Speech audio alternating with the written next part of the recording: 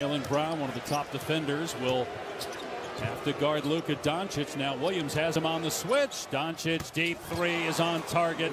He looks right to Paul Pierce. Bullock, a very good shooter, but to your point, excellent defender. Yes.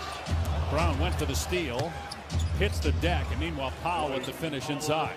On both ends of the floor, always excellent defender. He's picked up his offense. Doncic got the steal. Dallas doesn't have numbers. Brunson pulls the trigger anyway, and it's good for three. Rather than taking the time and then taking advantage of mis- mismatches, we're seeing early shots and misses. Doncic able to get that one to go. Tatum, by the way, has six rebounds. He's an excellent rebounder, eight boards per game. Here's Doncic getting past Horford. Makes it look so easy. Right place, as well as he sticks it back, and the lead is seven now for Boston.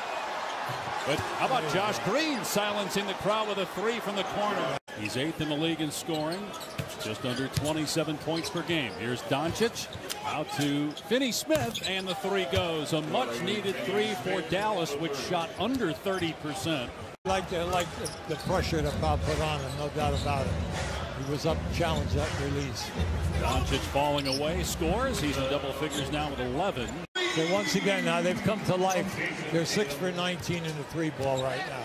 And that's a big improvement over the first half. Doncic heating up, answers from three-point land. I just want to say something about Smart.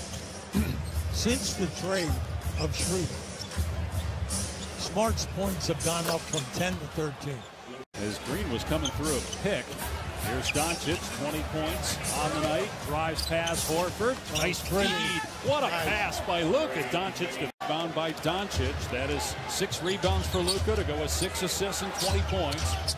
He'll fire a three here and oh. bury it. Doncic came alive in the third quarter. Brunson with a spin. Right into a double team. Luka with a touch pass. Dinwiddie takes it Oh, to the oh, rim. pretty. Count the basket. Pritchard was in the restricted area, so it will be a three-point chance Right. here for Dinwiddie. But he's boarding and he's doing a great job.